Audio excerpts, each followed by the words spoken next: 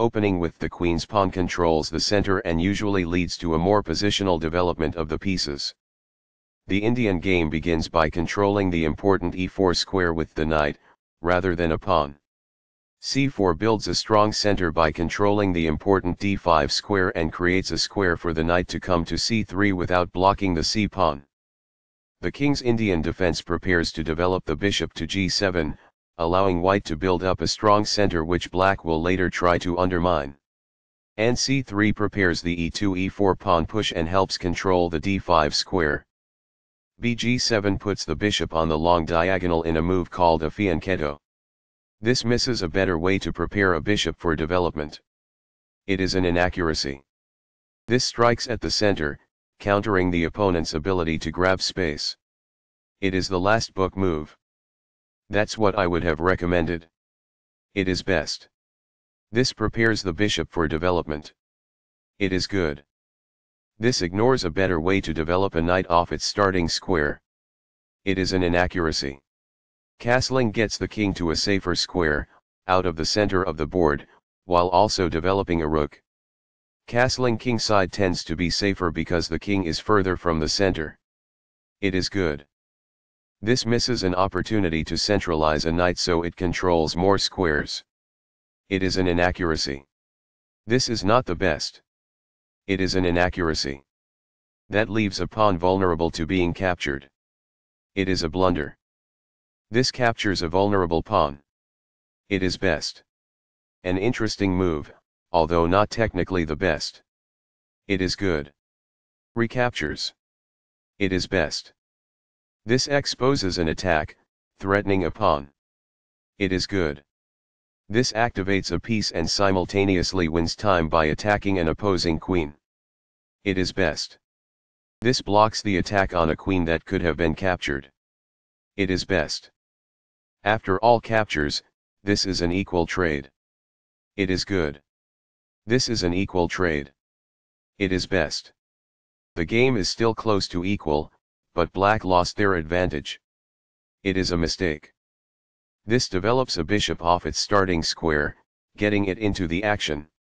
It is best. This move puts the pawn on a safer square. It is best. This is the strongest option. It is best. This allows the knight to control more squares. This threatens to kick a knight. It is best. This threatens to fork pieces it is a mistake. This misses an opportunity to develop a queen off its starting square. This allows the opponent to fork pieces. It is a miss. This forks multiple pieces. This is the only move that works.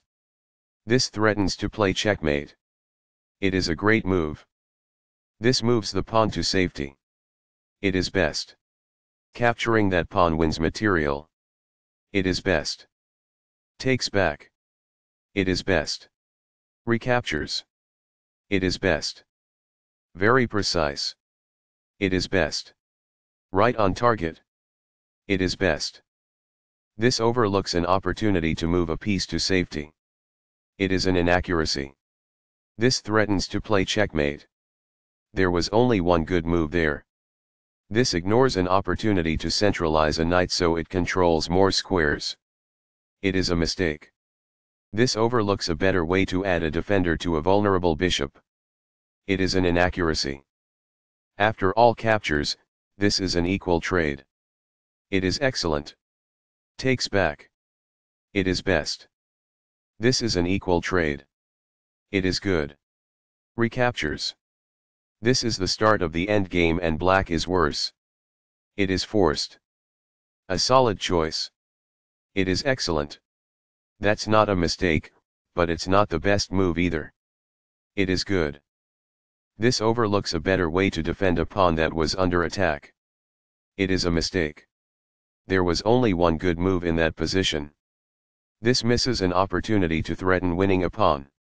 This allows the opponent to activate the king by getting it off of the back rank. It is a miss. This overlooks an opportunity to activate the king by getting it off of the back rank. This permits the opponent to take an outpost with the knight. It is an inaccuracy. The knight now occupies an outpost, a secure square in the opponent's territory. This threatens to fork pieces. It is best. An active king is critical in the endgame and getting it off of the back rank is the first step. This stops the opponent from being able to fork pieces. It is best. This maintains the balance in material with a good trade. It is excellent. Takes back. It is best. That's what I would have recommended. It is best. This defends the attacked pawn. It is excellent. Black was worse off, but now they are in a losing position. It is a mistake. This activates a rook by developing it off of its starting square. It is best. This is the strongest option. It is best. That pawn was free for the taking. It is best. This defends a pawn that was under attack and had no defenders. It is best. That's a sensible reply. It is excellent. Very precise. It is best. This is a fair move. It is good. This is not the right idea. It is an inaccuracy. Right on target. It is best. This steps away from the checking rook. It is best. This defends the attacked pawn. It is best. This defends a pawn that was under attack and had no defenders. It is excellent.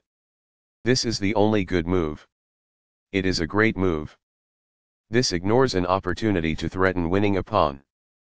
This permits the opponent to push a passed pawn towards promotion. It is an inaccuracy. This move puts the pawn on a safer square. It is excellent. That's what I would have recommended. It is best. This is the strongest option. It is best. One of the best moves. It is excellent. Very precise. It is best. A very strong play. It is excellent. The passed pawn moves towards its goal. It is best. Right on target. It is best. The pawn is now passed because it can no longer be challenged by opposing pawns as it tries to promote. It is excellent. A solid choice. It is excellent. This puts a rook behind a passed pawn, helping escort it to promotion. It is best. Giveaway one player was winning, but then gave it away. White really outplayed black in that one. Black played better than white in the opening, but it was messy. White was a cut above black in the middle game. White outmaneuvered black in the end game.